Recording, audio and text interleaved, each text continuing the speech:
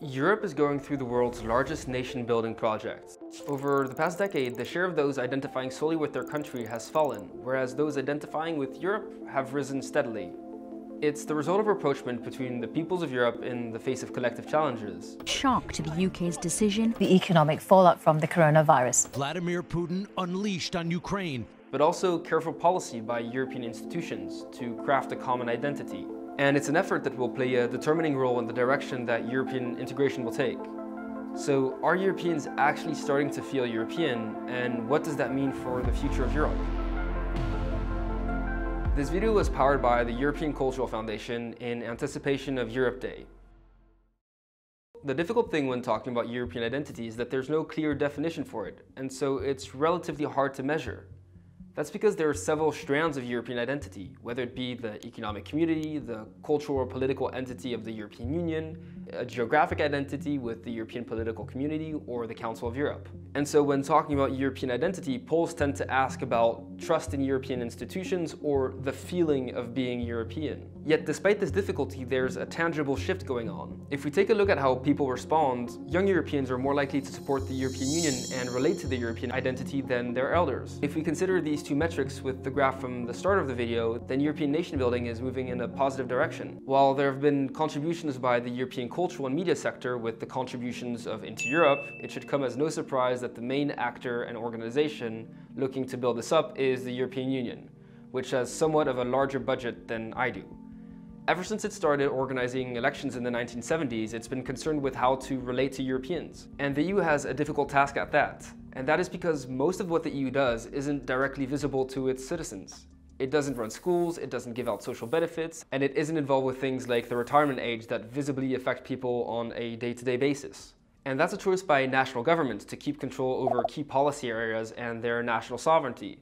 But those things make it very hard for people to understand what the EU actually does, and as a result, makes it difficult to identify with it. So the EU is constantly looking to promote policies that are both of interest to European citizens and that make it relatable and relevant. And on some level, it has been successful at that. The EU flag is now plastered everywhere, EU citizens now carry around European passports, and the Erasmus program allows students to experience uh, another country at the cost of the European Union. There's also this interesting phenomenon where EU politicians get into a feeding frenzy about cancelling daylight savings every couple of years, which draws a lot of attention to an area where the EU could actually weigh in, whether or not that actually is relevant and useful for people. These initiatives and the European sentiment that's being created doesn't mean that Europe is on the road to becoming a country, or that national governments will give more power to European institutions like the European Union but it does increase the likelihood of the EU surviving in the future.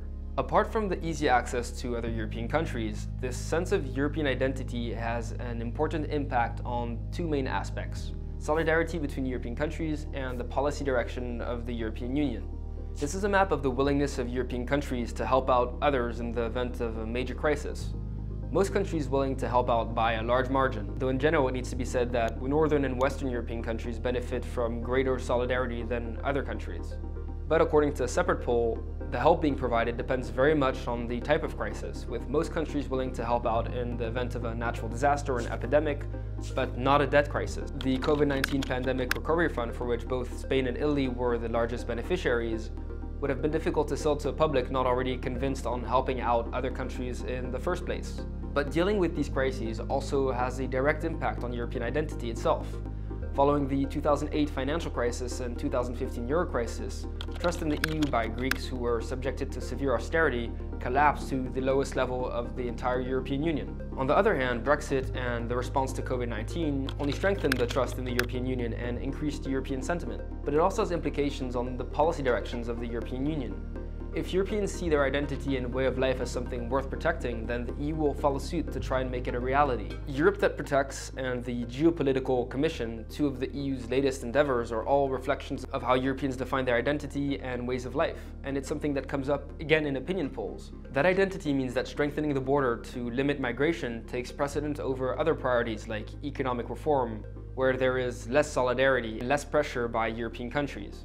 Despite the increased visibility in many policy domains, there have been some limitations to the EU's efforts. While the success story of Erasmus is great for university students and the EU is seeking to expand it to students following vocational education, It's simply hard to have Europe and the European Union reach everyone. In fact, there are roughly 180 million people in the European Union that have never left their own country. And so to reach more people, then what better way than having a holiday called Europe Day celebrated across the continent? That would be the crown jewel of the European Union's efforts to create a truly European identity, one that's shared by everyone regardless of social or economic status. If you'd like to find out more about Europe Day and the activities linked to your country, go check out the website in the link down below to find out more. Once again, this video was powered by the European Cultural Foundation. If you like this video, make sure to like, comment, and subscribe for the latest updates and analysis on European news.